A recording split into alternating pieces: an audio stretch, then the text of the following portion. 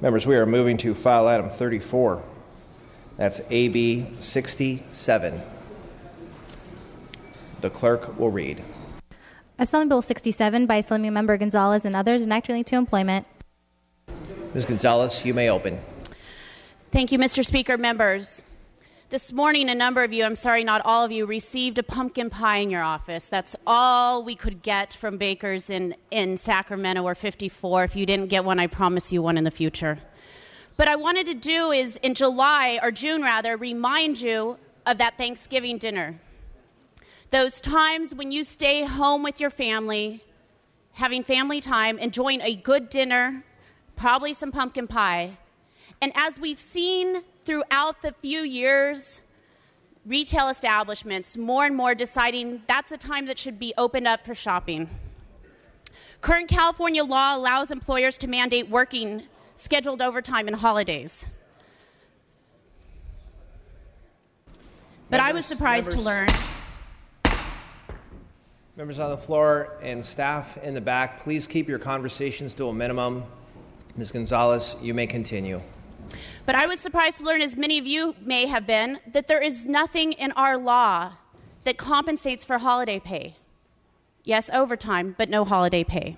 The way I learned this was a few years ago. I talked to a woman who was working her Thanksgiving. Her name was Karen. She had three young boys at home under the age of 14. And I asked her, I said, Well, are you at least getting a few more dollars working on Thanksgiving? I ask this because I grew up with my own mother going to work on Thanksgiving. Often she was a nurse. And we always knew, as devastating as it was to have my mother gone, that that would be the way we would have a Christmas because she would earn just a little extra pay. And Karen looked at me and she said, No, I don't get extra pay. I simply get to keep my job. That's a devastating thought. I simply get to keep my job. I said, Well, when do you eat dinner with your kids? And she says, We try to have a turkey breakfast tomorrow morning. Workers and their families have resorted to petitions and other public pleas for a chance at some holiday togetherness when facing this sort of inflexible forced scheduling. I know as I started talking about this, I got an email from a woman in my district. Her name was Maria, and she said that this year, this year, her mother would have to leave at 6 a.m. because Kmart decided that people may want to shop at that time. And she was told that she wasn't sure what time she would be let go to go home. No advance schedule, no notice, minimum wage. I think we can do better. We can't legislate family togetherness. And when we started looking at laws that could possibly even address this, all we found were three states in the Northeast that actually doesn't allow people to open up. Knowing that wouldn't work in California, we are, are searching for the first of its kind, ensuring that at the very least, if a major retailer or Fortune 500 companies have done the work to ensure and know that they're going to make a whole lot of money by opening up on Thanksgiving, that at least a little piece of that can go to the workers who have to leave their family in order to keep their job. This simply says, because of all the discussions I've had with all of you, the discussions with my colleague from San Fernando Valley here who convinced me to take Christmas out of this. It's only on Thanksgiving. My discussions that I had with my colleague from El Centro, from Los Angeles, to ensure that this doesn't affect small businesses, it's only tied to the ACA definition of small businesses, which mean 100 workers or over. The discussions I've had with my colleagues from Northern California about ensuring as we move this to the Senate that this does not include necessary personnel, people who would have to work, establishments that can't close, hospitals and hotels. I'm willing to work with anyone who wants to help define this new law to ensure that we are really just getting after this new consumerism that has caused so many people to have to go to work. But in the meantime, to move this forward, I need your aye vote. I respectfully ask for your aye vote. Thank you, Ms. Gonzalez. Mr. Kansen Chu, you are recognized. Thank you, Mr. Speaker. I rise in support of AB 67. Thanksgiving is the easiest and the most popular time for working Americans, any working families, to coordinate visit and vacations. It is known to be the busiest traveling day uh, uh, of the year in the United States. Whether you are a first generation immigrant like myself, or your family sail here with uh, Mr. Columbus, Thanksgiving is the time for family gathering. Businesses that are open on Thanksgiving should know that they will be making more money. So uh, if they don't, they shouldn't be in that business.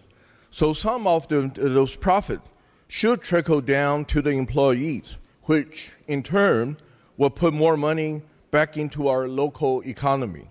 Members, I as respectfully ask for your aye vote. Thank you, Mr. Chu. Mr. Harper, you are recognized. Thank you very much, Mr. Speaker. Uh, this bill is yet another overreach of government into the business of business affairs of Californians.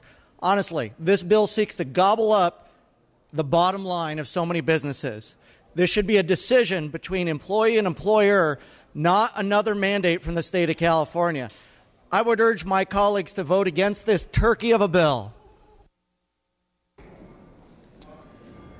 Mr. Bonta, you are recognized from your desk.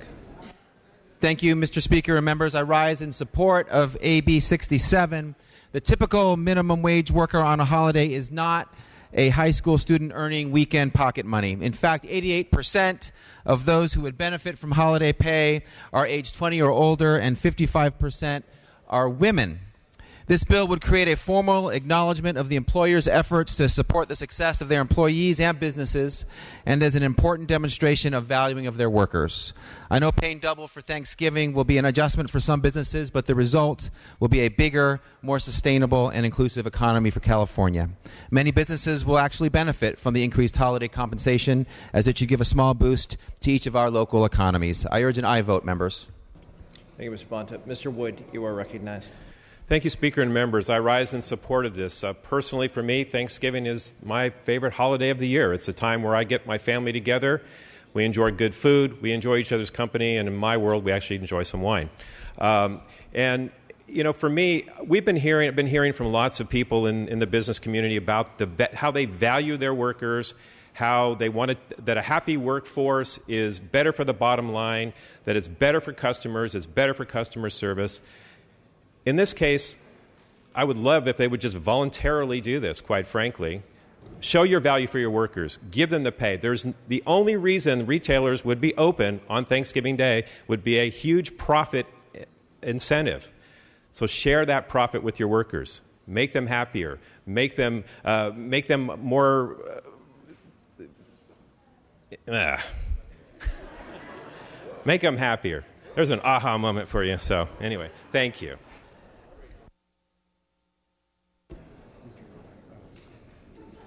Mr. Hernandez, you, you are recognized. Thank you, Mr. Speaker. Members, I rise in strong support of this important piece of legislation.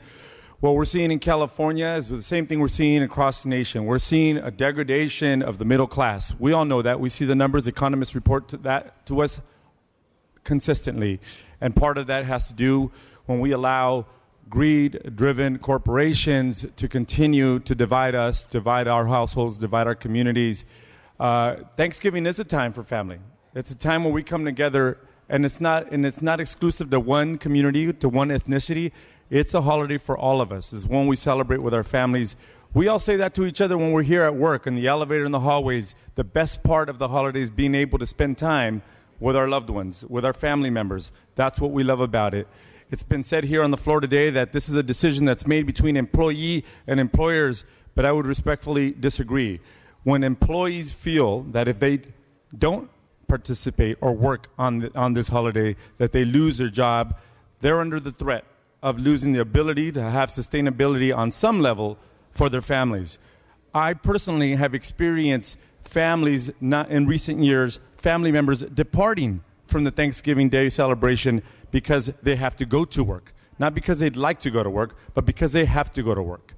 And this is something that is this is a, this is a scenario that's happening. Why? Because it's profitable for businesses, big box retailers to stay open. The author, Ms. Gonzalez, the representative from San Diego, has been thoughtful. She's worked with the opposition and, re- and reducing and narrowing the scope. She's been asked by some to remove the Christmas holiday. She's done that. She's been asked to remove small business. She's done that. She's been asked to remove the emergency services community, hospitals. She's done that. Every step of the way, she's fighting to keep, give us the opportunity to keep our families together on such an important holiday, one we all enjoy. Let's say this to our Californians. I know when we all run and ask members of, of the community to support us, we don't ask we don't ask voters, send me to Sacramento so that I can allow corporations to keep us further away from you and to degrade our quality of life. We don't say that to our voters. We say, send us to Sacramento so that we can improve your quality of life, so we can keep our families together, so we can improve our circumstance. That's what this bill is about. Let's not degrade our holiday time, our family time. This is a small consideration for those that are working when we're enjoying our family togetherness. I strongly ask for your aye vote. Ms. Benia, you are recognized from your desk. I, I support this bill, and I, I, just encourage all of you who believe in family values to um, consider supporting this bill. That's really what it's about. Uh, this is the one holiday in the year, really, given to families uh, to get together. And there's nothing in this bill that's saying that our uh, large businesses can't continue to do what they're doing, even if we don't like it.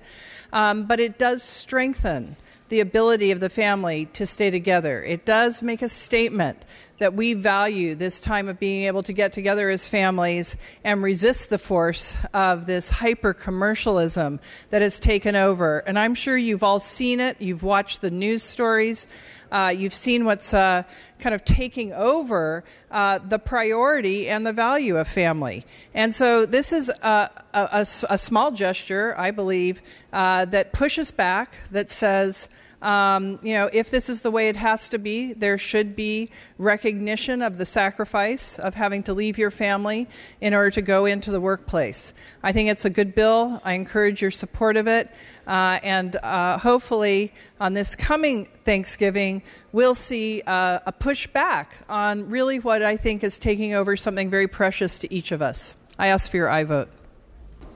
Mr. Wagner, you are recognized. Thank you, Mr. Speaker. I rise in, in opposition and want to take a moment to point out what I think is the economic illiteracy at the heart of this bill.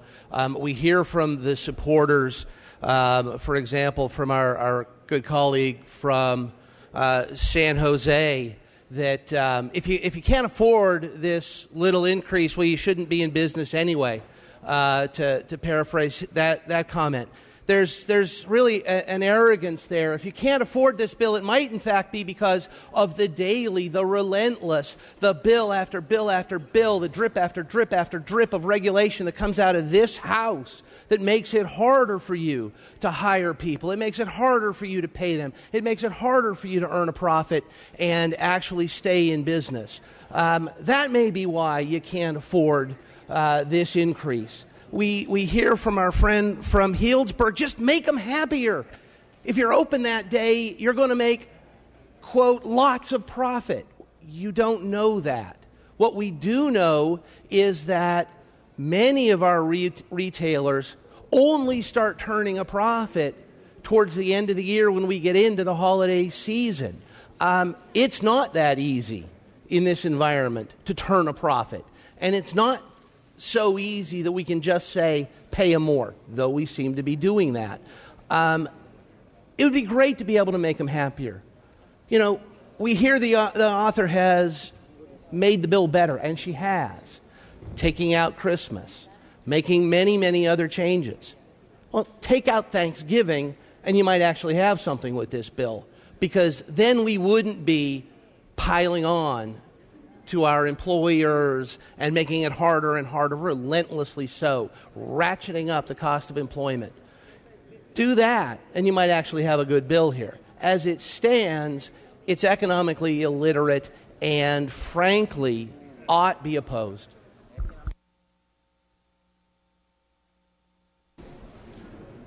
Mr. Allen, you are recognized.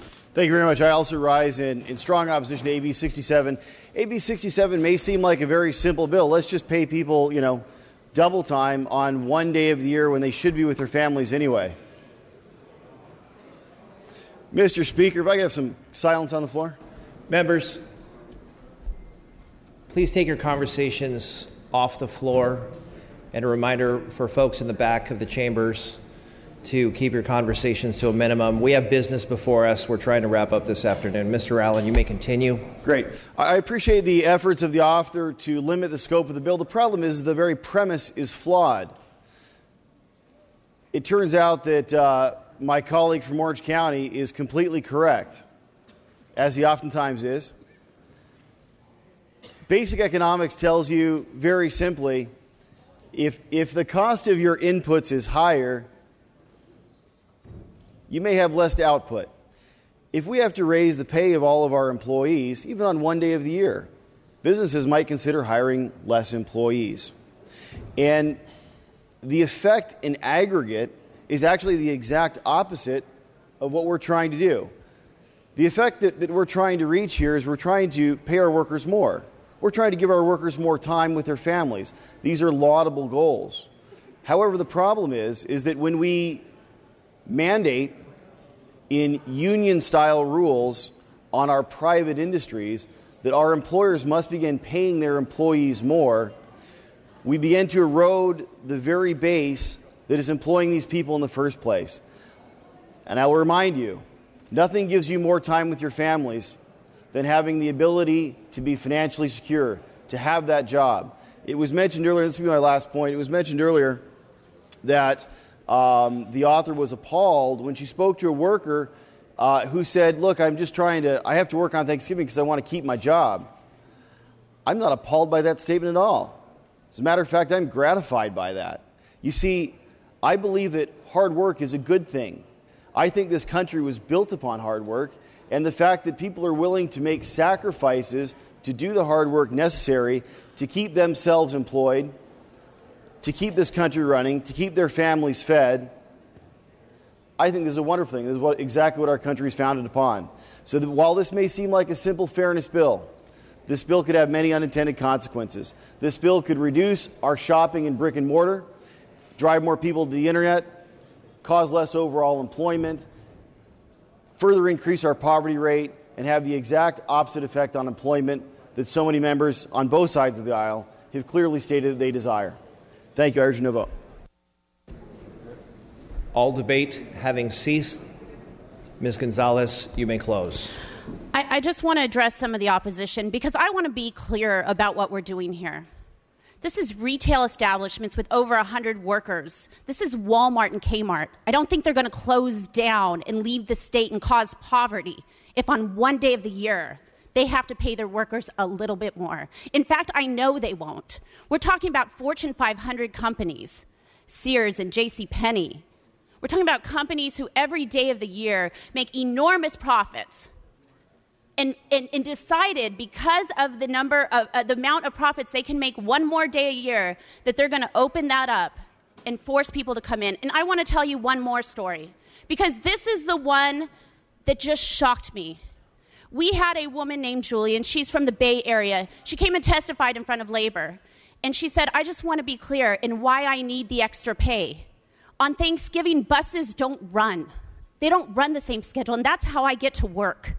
She said, So on Thanksgiving, not because I think I might lose my job, because I was told if I don't show up, I will lose my job. I had to get a cab to and from work.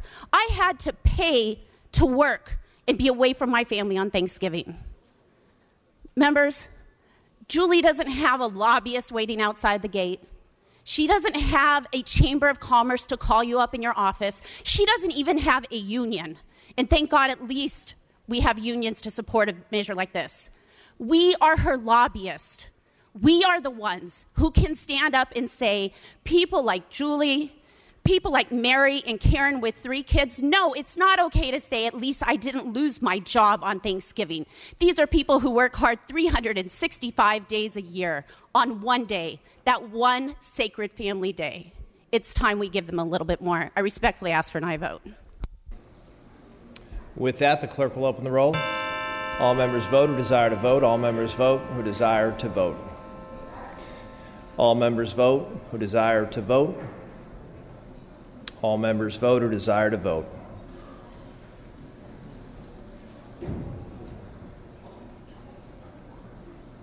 All members vote or desire to vote. All members vote or desire to vote.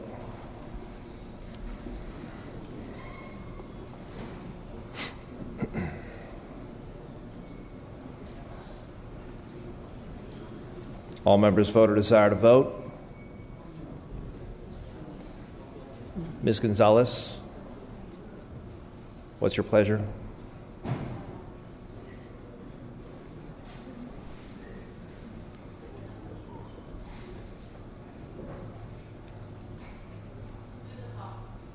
Ms. Gonzalez moves the call.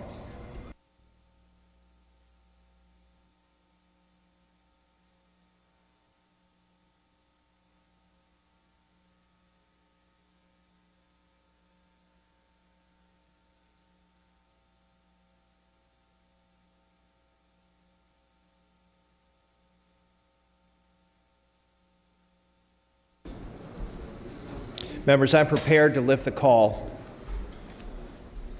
on AB, pardon me, file item 30. That's AB 575, Mr. O'Donnell's measure. Clerk will post. All members vote or desire to vote. All members vote or desire to vote. All members vote who desire to vote. All members vote or desire to vote. All members vote who desire to vote. All members vote who desire to vote.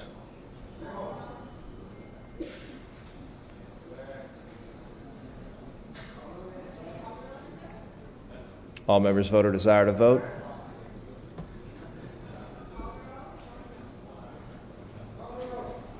All members vote or desire to vote.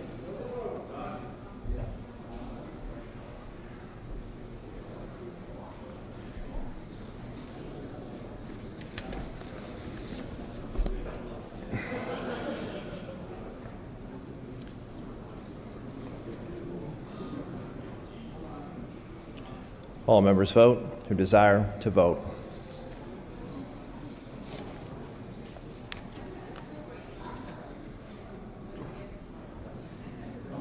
All members vote or desire to vote. All members vote or desire to vote. Clerk will close the roll, tally the vote. I close the roll and tally the vote with 41 votes.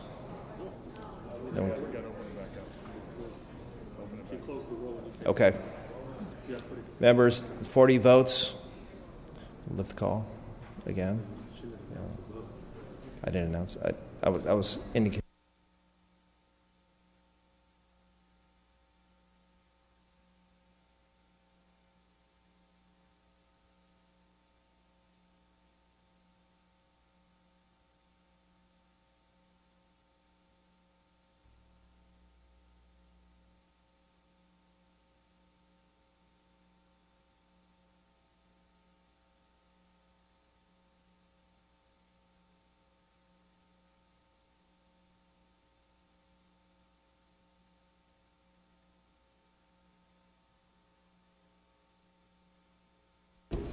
Members, I'm prepared to lift the call again on file item 30. That's AB 575. Clerk will post.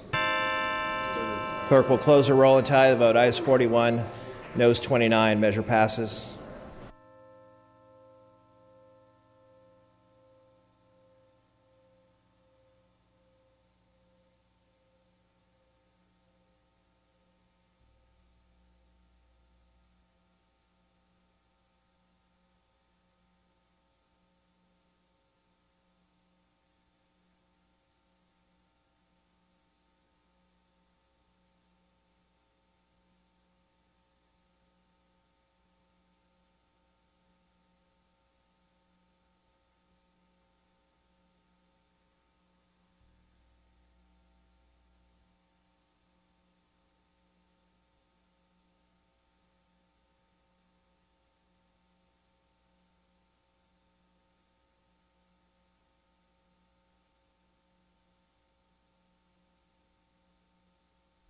Okay, members, we are going to move to file item 21. That's AB 356. Clerk will read. Assembly Bill 356 by Assemblymember Williams and others enacting relating to oil and gas. Mr. Williams. Members, thank you for uh, hanging in there on a long afternoon. A 2011 U.S. EPA audit of DOGGR indicated that DOGGR was doing an insufficient job protecting California's groundwater. Then, even after that audit, in June of last year, it was discovered that DOGGR was approving injection wells in non exempt aquifers, meaning aquifers that could be used for drinking water or ag water or other beneficial use. To date, the state has shut down 23 injection wells because they were, are, had already been injecting into aquifers that would be suitable for drinking water. Just yesterday, the governor and oil companies were sued by Central Valley farmers for allowing oil and gas wastewater to destroy thousands of cherry trees. This bill would reform the underground injection control program to protect groundwater and ensure compliance with state and federal laws. It does so by ensuring that aquifer exemptions are thoroughly vetted by the State Water Resources Control Board to protect more aquifers from being contaminated. This bill also requires groundwater monitoring to verify that wastewater and injection fluid will not pollute nearby aquifers with a beneficial use. As California deals with the fourth year of drought conditions, protecting groundwater has become more important than ever. It's why both my counties and ACWA, yes, ACWA, not exi- ACWA, yes, ACWA, not exactly the most liberal organization in the world, support this bill because four years into a drought, we cannot afford to allow underground injection projects to harm groundwater that is usable groundwater. I ask for your aye vote. Thank you, Mr. Williams. Seeing no discussion or debate on this item, clerk will open the roll. All members vote who desire to vote. All members vote who desire to vote. All members vote who desire to vote. All members vote who desire to vote. All members vote who desire to vote.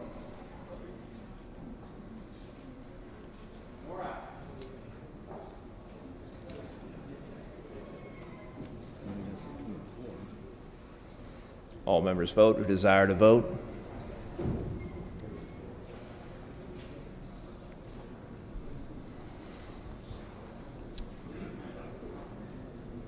All members vote who desire to vote. Close the roll. Tally the vote. Ayes 26, noes 31. Measure fails. Reconsideration. Mr. Williams notices reconsideration.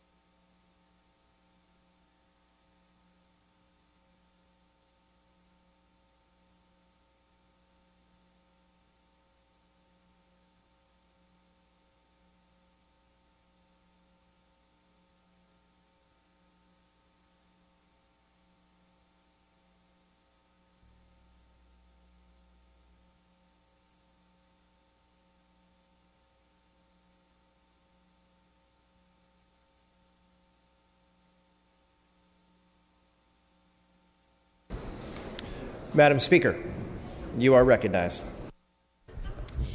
Thank you, Mr. Speaker.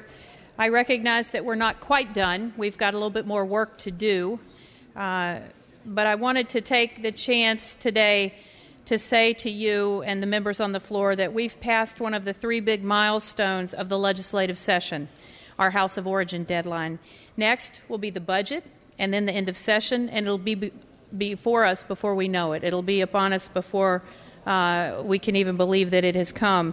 So I wanted to take a minute uh, at this particular milestone to say thank you all for your hard work here on the floor and in your committees, because it took a lot for uh, all of these bills to get here today for us to give this consideration, uh, in particular this week.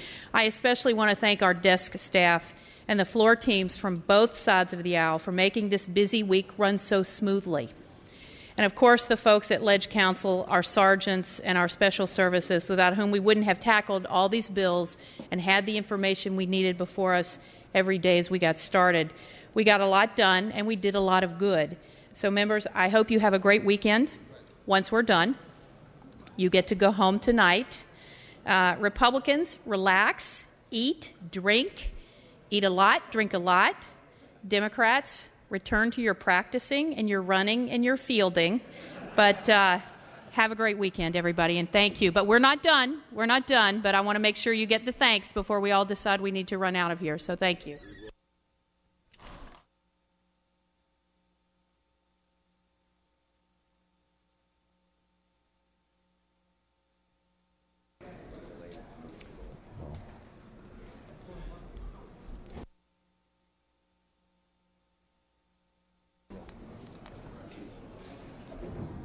Members, very briefly, while I have your attention, Assemblymember Low's birthday is tomorrow. Let's wish Mr. Lowe a happy birthday.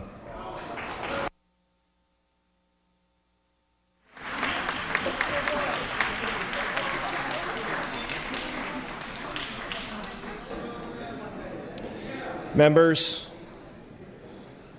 I'm prepared to lift the call on file item 34, that's AB 67. The clerk will post. All members vote or desire to vote. All members vote or desire to vote. The clerk will close the roll, tally the vote. Ayes 29, noes 28. Eight. Measure fails. Notice reconsideration. Ms. Gonzalez notices reconsideration.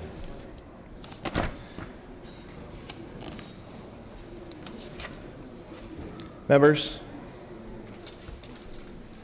the session schedule is as follows Friday, June 5th, no floor session, no check in session. Monday, June 8th, floor session at noon. All other items remaining will be passed and retained. All motions shall be continued. Seeing and hearing no further business, I am ready to entertain a motion to adjourn. Mr. Holden moves, Ms. Waldron seconds that this House stands adjourned until Monday, June 8th at noon. Quorum call is lifted.